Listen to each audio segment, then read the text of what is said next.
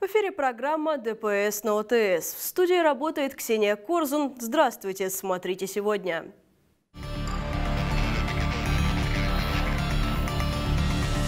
Были проблемы с сердцем, в поездке чувствовал недомогание. Следователи устанавливают причины гибели водителя УАЗа.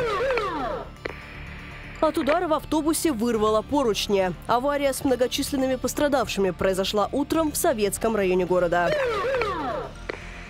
Наехал на ногу охраннику и сломал шлагбаум. Новосибирцы сообщили о неадекватном автомобилисте.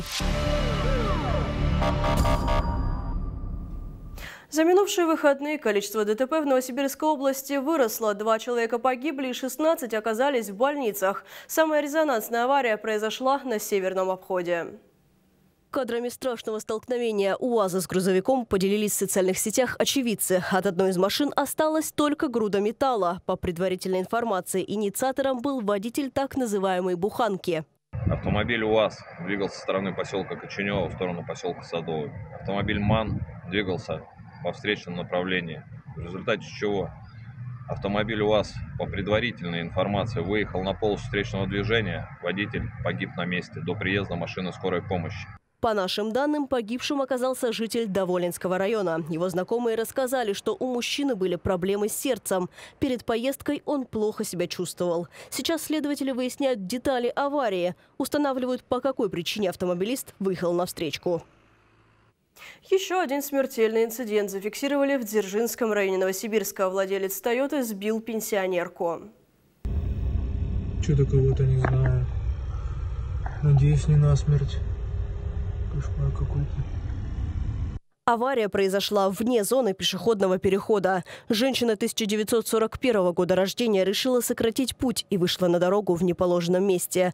Автомобилист пытался экстренно затормозить, но сделать это на скользкой дороге не получилось. Пенсионерку экстренно доставили в больницу с тяжелыми травмами. Медики около часа боролись за ее жизнь, но безуспешно.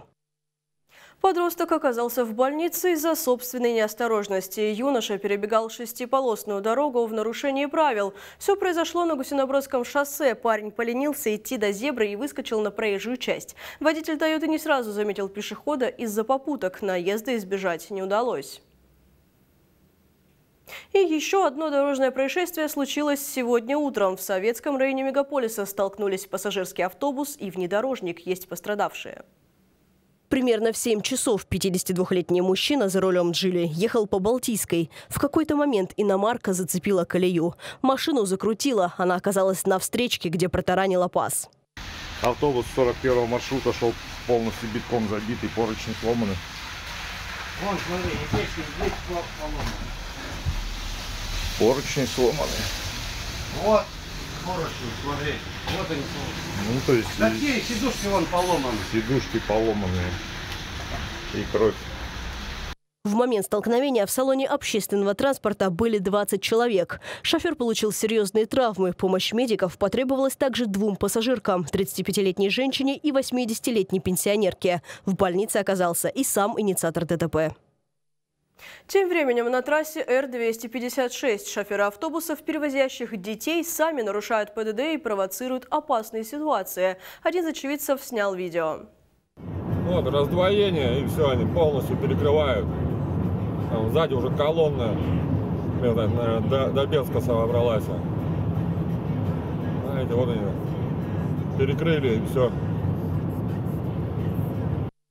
На Гусинобродском шоссе перевернулась иномарка. Водителю помогли выбраться спасатели. Владелец «Тойоты» потерял контроль над управлением. Машину занесло. Она съехала с дороги, врезалась в бетонный забор и оказалась на боку. Бойцы МАЗ предотвратили возгорание и вернули транспорт в исходное положение. Автомобилист от медицинской помощи отказался.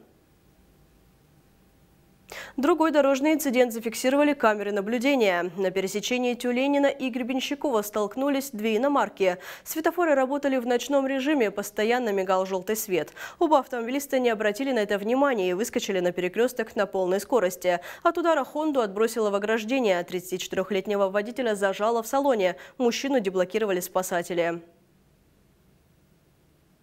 Еще об одной аварии стало известно из социальных сетей. Очевидцы рассказали, что неадекватный автомобилист сбил охранника и сломал шлагбаум в жилом комплексе «Светлая роща-2». Правда, наезд камеры наблюдения не записали. Зато на кадрах видно, как водитель «Фольксвагена» ссорится с охраной, вручную поднимает шлагбаум и неспешно уезжает. Автор видео сообщил, что заявил о происшествии в ГИБДД. К другим темам жители села Каменка боятся выходить на улицу по вечерам. Дело в том, что в течение уже трех недель там не работает освещение. В конце октября здесь уже была смертельная авария. Легковушка сбила пешехода на темной дороге. По словам местных, администрация бездействует. Вот так вот мы идем домой. По улице Каменская. Каменка. С магазином. Улица Каменская. Подсвечивая друг другу фонариками. А в завершении программы традиционная рубрика «Две беды». Это подборка столкновений, которые попали в объективы регистраторов машины и уличных камер наблюдения.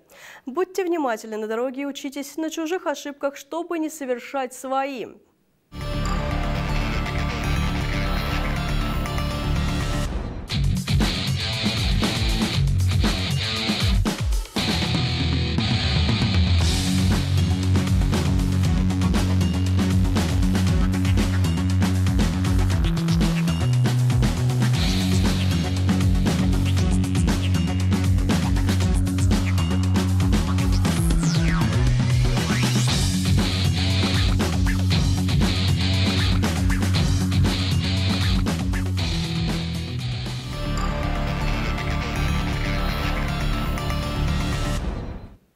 И на этом пока все. Если вы стали очевидцем аварии или нарушения, присылайте видеозаписи на наш редакционный WhatsApp.